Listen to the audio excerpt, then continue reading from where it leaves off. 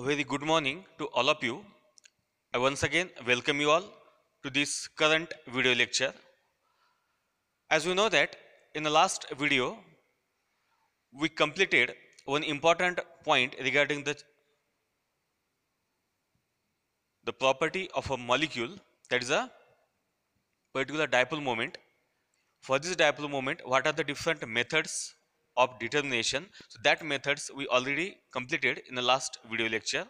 Now after studying that particular methods of determination of dipole moment today we are going to take the next aspect of this dipole moment that is called as the applications of dipole moment measurement. Why it is necessary for us to study this dipole moment or why we study the measurement of this dipole moment? What is its application or what is its, its role in order to determine the molecular structure. So that aspect we are going to study in a today's lecture. Now name of the point is a applications of dipole moment measurement. So number of applications is there regarding this measurement of dipole moment. So today we have to take one important applications of this measurement of dipole moment and that application is called as the percentage ionic character. So this is the first important application of a dipole moment measurement. Now we know very well the dipole moment of a molecule. Before that, we completed or we studied one important aspect regarding any molecule and that is called as the types of the molecules. So, molecules are classified into the two broad classes polar molecule and non-polar molecule. If a molecule is a polar molecule, that molecule must have a resultant value of the dipole moment. On the other hand, if a molecule is a non-polar, it has the zero value of the dipole moment. Now, once we know that a given molecule is a polar or non-polar, if suppose a molecule is a polar, then our duty is that or our aim is that to find out what is the percentage ionic character of a molecule. What is the percentage ionic character of a molecule if a molecule is a polar? So, what is the percentage of the ionic, ionic character is there in that molecule. So, that is the first applications of this type of the dipole moment measurement. So, to understand this particular aspect, we have to consider a simplest example of a polar molecule. So, for this purpose, I consider here a simplest example of po polar molecule that is called as the HCl or it is called as our hydrochloric acid. We know that this compound is called as the polar compound and why this is a polar compound? Because it has the presence of the bond moment is there. In this compound the presence of the bond moment is there and that's why this compound show the resultant value of the dipole moment. So if we consider the observed value of dipole moment for this HCl molecule the dipole moment for this HCl molecule the observed dipole moment the observed dipole moment the observed dipole moment for the HCl is equal to 1.04 debye unit.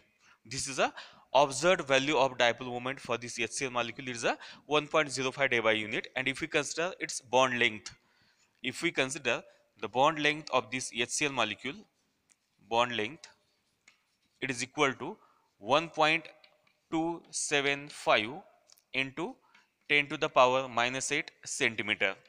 So these are the two important values regarding this HCl molecule. First is that its observed dipole moment is equal to 1.04 debye unit and the bond length of this HCl molecule is a 1.275 into 10 to the power minus 8 centimeter. Now, if we consider suppose this HCl molecule is called as ionic if suppose this HCl molecule if we consider it is an ionic molecule then what happens? If the molecule is an ionic molecule and if the position of the bonding pair and if the position of the bonding pair in between these two atoms is shifted more towards or it gets shifted toward this chlorine atom under that condition what we can say? So we can say that that molecule has the presence of H plus molecule sorry H plus ion and Cl minus ions. So, you can say that if the bonding electron pair is shifted towards this chlorine atom under that condition, it has the two types of the ions. One is called as H plus ion and second ion is called as the Cl minus ion. And under that condition we can say that that molecule is called as the 100 percent ionic. That molecule is called as the 100 percent ionic. That molecule is called as the 100 percent ionic molecule. So when we consider this HCl molecule is a 100% ionic so under that condition we are interested to calculate the dipole moment of the molecule. So un under that condition we are interested to calculate dipole moment of a molecule. So that dipole moment is called as the mu ionic.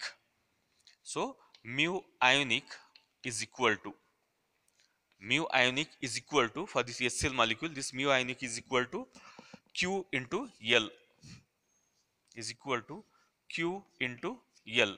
Now what do by this Q? So Q is nothing but the charge present on a single electron or on a single charge. What is the constant value of, of this Q? So for this purpose we take here the constant value of this charge present on a n type of the ionic species. This L is called as the bond length. This bond length we already know here. It is a 1.275 into 10 to the power minus 8 centimeter. And if you consider the constant value for this q is there. So it is a 4.8 it is the 4.8 into 10 to the power minus 10 ESU multiplied by. So this is the value for this q. 4.8 into 10 to the power minus 10 ESU multiplied by its bond length. It is equal to 1.275 it is the 1.275 into 10 to the minus 8 centimeter. So if we consider these two values and if we solve this simple multiplication we get mu ionic is equal to we get mu ionic is equal to its value is obtained is equal to 6.12 debye its value obtained is equal to 6.12 debye so we can say that if we consider the HCl molecule if suppose it is a 100% ionic molecule so under that condition if we calculate the dipole moment of a molecule and that dipole moment is called as the mu ionic this mu ionic is equal to q into l. The value for this q is a 4.8 into 10 to the power minus 10 esu and for this bond length it is a 1.275 into 10 to the power minus 8 centimeter. So the value obtained is equal to 6.12 debye so this is called as the dipole moment of a HCl molecule when it is considered to be the 100% ionic molecule. Now, if we look towards carefully the two type of the different values for HCl molecule, it has the observed dipole moment. It has the observed dipole moment is equal to 1.04 debye.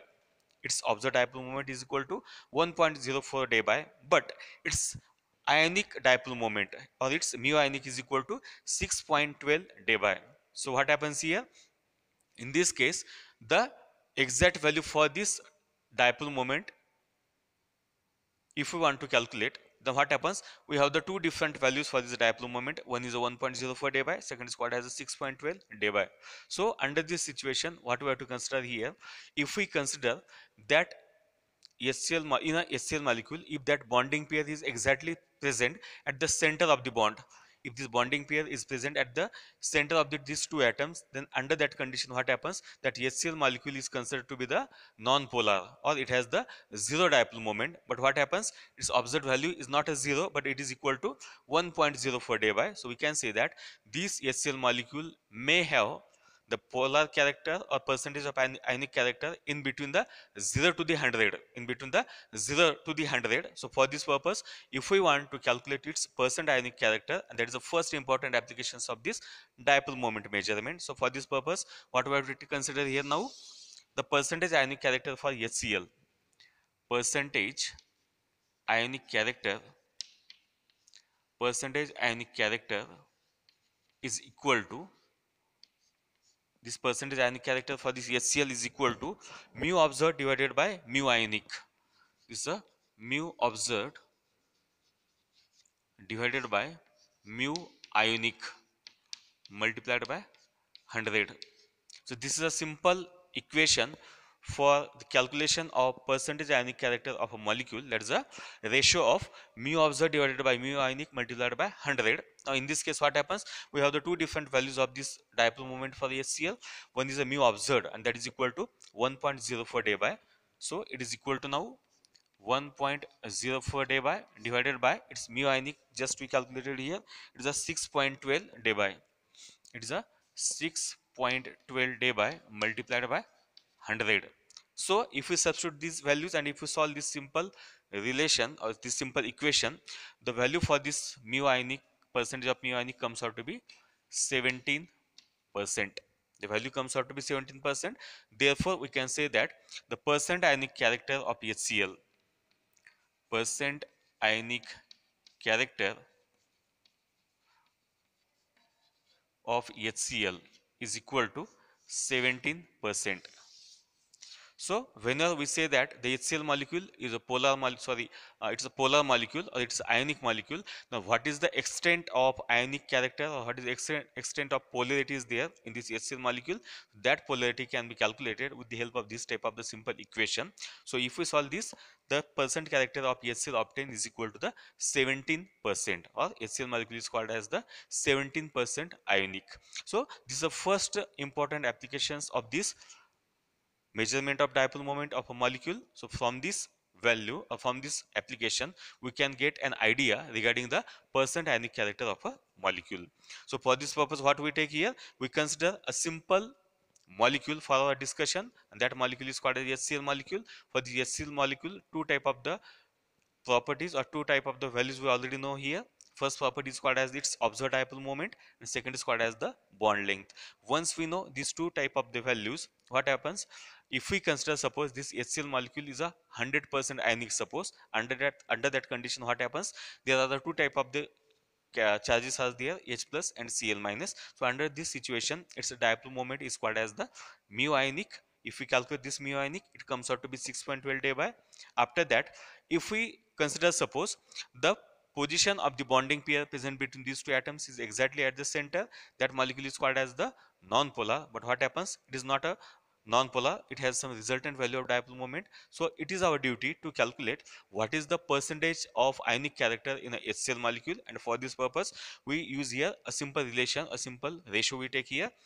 Percent ionic character is equal to a ratio of observed dipole moment to that of the its ionic dipole moment multiplied by the 100 and if we substitute in this equation that value obtained is equal to 17 percent. So we can say that HCl molecule is called as the 17 percent ionic and this is the first important applications of the dipole moment measurement. So today we consider only one of the important applications of this dipole moment measurement. The remaining applications we will take in a next video lecture. So with this today i stop here. Thank you so much